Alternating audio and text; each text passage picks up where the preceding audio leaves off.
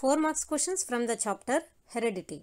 Let us go into the questions. The first question Write the flow chart of monohybridization between pure tall and short plants and mention the phenotype and genotypic ratios in F2 generation.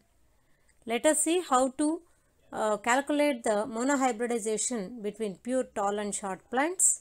So, first of all, we will start with the pure varieties of tall and short with the factors capital T, capital T and small t, small t. When we cross pollinate both of these tall and short pure varieties, it results in the F1 generation with all the tall plants but with factors capital T and small t because the gametes formed from tall plants are capital T and the gametes formed from short plants are small t. When we cross pollinate them, it results in the plants containing the factors capital T and small t. As the tall is the dominating factor, so the plants look tall. The, all the plants are tall in F1 generation. This is the F1 generation. Now let us self pollinate the F1 generation. It results in F2 generation. So if you observe the checkerboard of F2 generation, we need to uh, self fertilize them. So the gametes formed from uh, F1 generation plants that is tall plants with uh, factor capital T and small t are two types of gametes capital T and small t. When these gametes randomly fuse to form the next generation plants, they may be in the ratio of capital T capital T and capital T small t and finally small t small t. But according to the probability functions, ratio of uh, the tall plants and short plants as the T I mean uh, tall factor tall character is the dominant factor.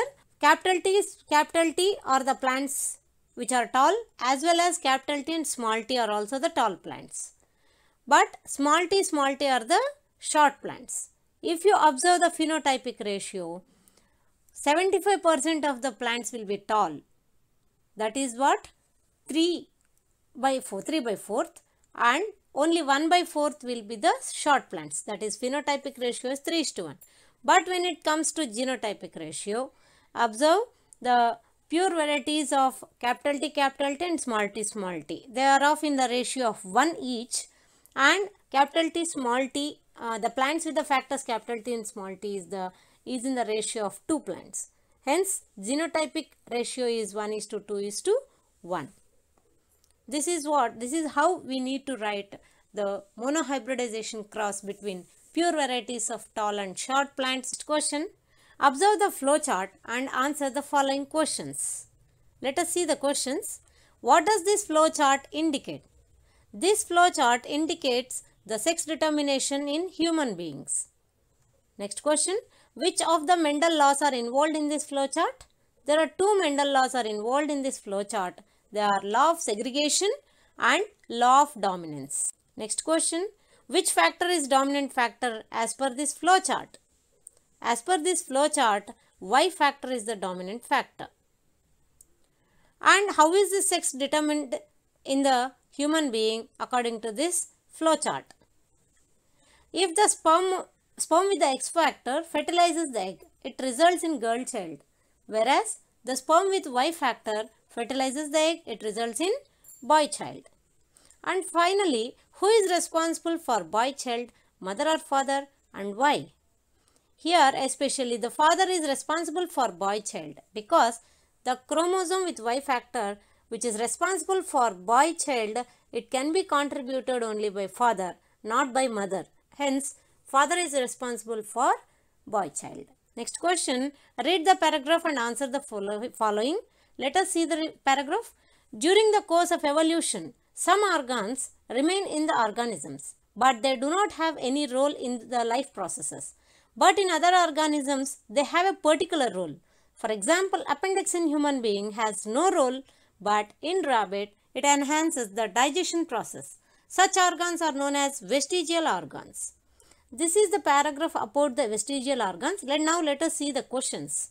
What are the vestigial organs? In the paragraph itself, it is mentioned that the organs which remain in our human body, our body without any specific function. they are called as vestigial organs. They exist in our body as usual but they do not have any specific function. They, they will not be involved in any type of life processes or any type of functions. They are called as vestigial organs.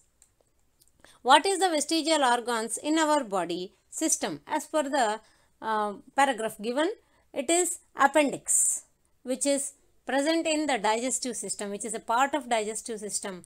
It is after the, it is at the place of where uh, the small intestine um, ends and uh, the large in intestine begins. This is the appendix. Next one, what can we infer from this story of vestigial organ? We can infer about the evolutionary process that has taken place in the case of living organisms.